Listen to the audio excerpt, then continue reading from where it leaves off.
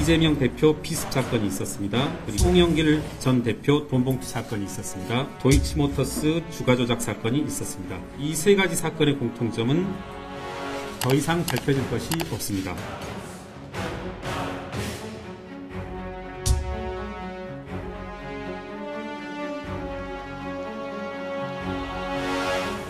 대통령직 일각에서는 김경률 비대위원 사퇴를 요구하시는 걸로 알고 있는데요. 제가 그런 요구를 받은 적이 없습니다.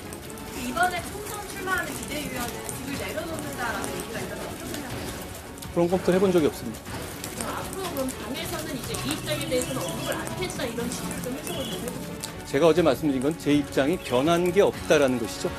김건희 여사의 사과도 필요하다고 말씀을 주셨, 주셨 었는데 그때 입장이랑 다르지 않은지 알고 싶습니다. 제가 김건희 여사의 사과를 얘기한 적이 있던가요? 필요성이 있어 보인다라고 그때 그런, 말, 제가 그런 말씀 드렸던 건 아니고 제가 드렸던 말씀을 그대로 이해해 주시면 되겠습니다.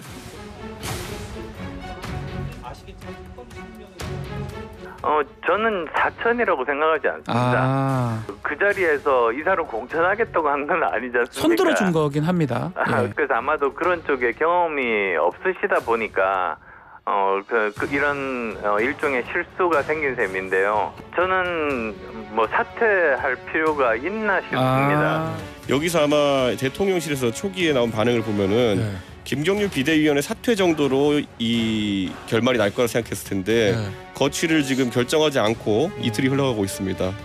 이게 길어지면은 대통령 레임덕 소리 나오겠죠. 전 냉정하게 얘기하면 김경률 비대위원이 사퇴할 이유는 없다 봅니다. 누구는 얘기하기로는 뭐 총선을 출마를 위한 비대위원의 사퇴로 마무리 지을 것이다 뭐 이런 얘기도 있는데 예. 출마하는 비대위원도 사퇴할 의무는 없습니다. 그러니까 억지로 지금 이제 교착 상태 풀어보려고 하는 것 같은데 예.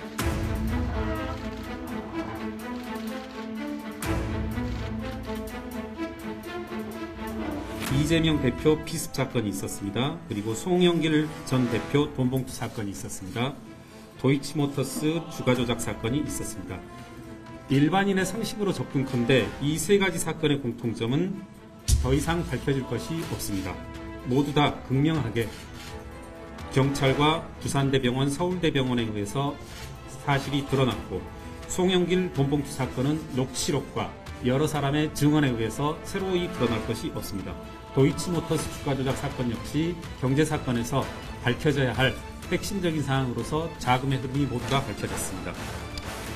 왜 이와 같이 명확한 사건들이 흐름들이 민주당만 가면 뿌얘지는지 흐릿해지는지 정쟁의 영역으로 가는지 모르겠습니다. 이재명 대표 피습 사건은 정치 테러 대책위원회라는 황당무계한 위원회로 귀결됐습니다. 송영길 돈봉투 사건은 검찰 앞 1인 시위를 넘어서 정치검찰 해체당 창당 선언이라는 역사상 유례 없는 황당무계한 사건을 초래했습니다. 도이치모터스 주가 조작 사건은 끊임없는 정쟁의 원인이 되고 있습니다. 이와 같이 민주당의 태도와 발언들로부터 정치의 고비용 저효율 구조가 초래되는 것입니다. 민주당의 행태가 우리 사회의 정치개혁 필요성을 역설적으로 증명하고 있다고 생각합니다.